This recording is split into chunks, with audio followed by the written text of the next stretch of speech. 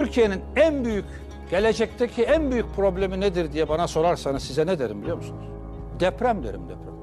Türkiye'nin gelecekteki en büyük problemi deprem. Türkiye'nin yüzde 42'si deprem bölgesi. 30 milyon insan deprem bölgesinde yaşıyor. 7 milyon konutun ne olduğunu bilmiyoruz. 7 milyon konut büyük ihtimalle dönüştürülmesi lazım.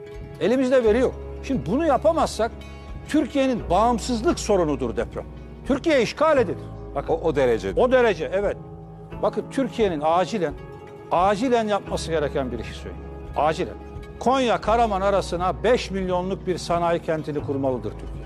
Deprem nedeniyle mi? Evet. Deprem riski sıfırdır o bölge. İstanbul'dan sanayinin %35'ini göndermelidir. Mutlaka bu yapılmalıdır. Olası bir felakette o bölge Türkiye'yi bakabilmelidir. Orayı bir de demir yoluyla Mersin Limanı'na bağlamak. Yeni bir cazibe merkezi kurmak. Yani İstanbul'un etrafını doldurdukça doldurmak bu doğru bir şey değildir. O bölgeye 5 milyonluk bir sanayi kenti Mersin Limanı'na demir yoluyla bağlamak tehlikeyi azaltmak lazımdır. Bunu yapmalıyız. Bunu yapamazsak bakın memleketin başı belaya girer.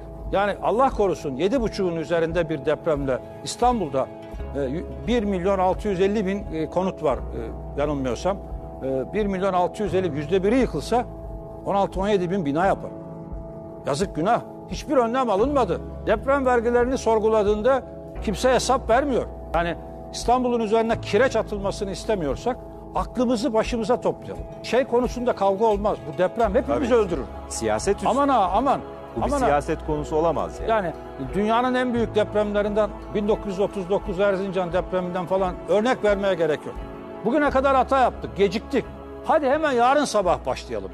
Hemen yarın sabah başlayalım. Herkes, belediyeler, devlet hep birlikte, vatandaş, sivil toplum bunu çok önemsiyorum.